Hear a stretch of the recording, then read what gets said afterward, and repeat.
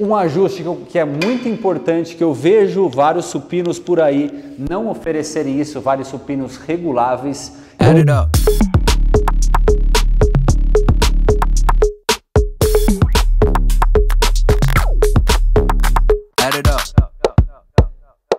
Fala pessoal, tudo bem? Bem-vindos ao canal Foster Fitness Reviews. Eu sou o Daniel Foster. Nesse canal falaremos sempre sobre equipamentos, dicas de treinos, tecnologias, tudo para a sua academia na sua casa ou em seu condomínio. E hoje farei um review sobre esse equipamento, esse cara aqui, que é um banco supino regulável.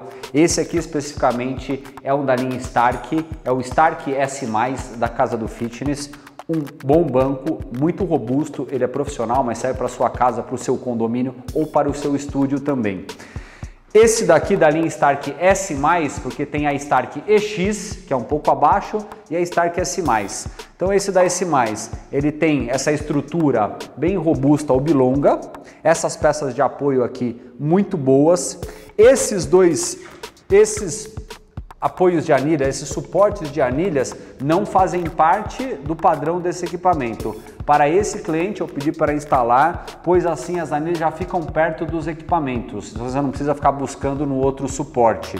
Então esse daqui é opcional, mas faz muito sentido colocar, dependendo do seu caso, o transporte de anilhas. E além disso, nesse equipamento nós temos a parte dos ajustes de ângulos do assento e do encosto.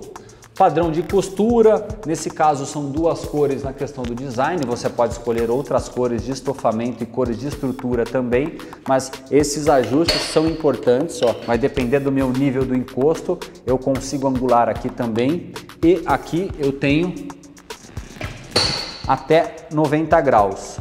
Ou seja, eu posso utilizar esse banco também não necessariamente só com um supino, eu posso utilizar com os halteres. No final ele viraria um banco livre. Se eu tiver os outros halteres, eu consigo utilizar como um banco livre. Então esse ajuste ainda permite até num regulável, se eu estiver com os pesos, com os dumbbells, eu conseguirei trabalhar aqui indiferente aqui da parte do supino. E indo para a parte do supino, uma um ajuste que é muito importante, que eu vejo vários supinos por aí não oferecerem isso, vários supinos reguláveis. Então isso é um alerta, pode ligar a sirene aí, porque é importante. Isso é um alerta, porque o banco de supino regulável, ele terá que ter esse ajuste de distância. Porque na hora que eu estou no supino reto, tudo bem que eu já venho aqui e entro embaixo da barra. Me posiciono aqui embaixo da barra e executo o movimento. Porém, a grande questão é quando eu vou usar um supino regulável. Quando eu inclino o banco, mas se eu precisar fazer com essa inclinação. Se eu tiver no ajuste que eu vejo muitas outras empresas oferecerem banco de supino assim, eu tenho que tirar a barra atrás da linha do meu ombro o que não é bom, pode causar lesão, dependendo da carga que eu estiver executando. Então eu tenho que trazer a barra de trás para dentro para eu conseguir executar o um movimento. E aí eu preciso devolver essa barra para trás. Então esse movimento para trás não é recomendado. Por isso que o banco de supino regulável, para eu ter essas inclinações, eu preciso ter esse ajuste de distância. Que agora eu já entro mais próximo dele, consigo fazer e eu consigo colocar e tirar a barra com um ângulo, realmente uma posição de segurança. E agora se eu quiser utilizar ainda mais uma próxima inclinação, ó, de novo naquele problema, eu vou de novo trazer a barra aqui de trás, tá errado. Eu quero fazer esse movimento aqui que eu já estou executando um movimento indo para exercícios mais para ombros. Novamente eu vou precisar desse ajuste de distância para que eu entre embaixo da barra. E aí sim eu consigo tirá-la e colocar com o movimento correto. Eu teria mais um ajuste ainda se eu fosse ver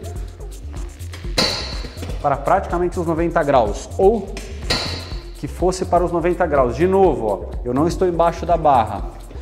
E aí eu precisaria desse ajuste.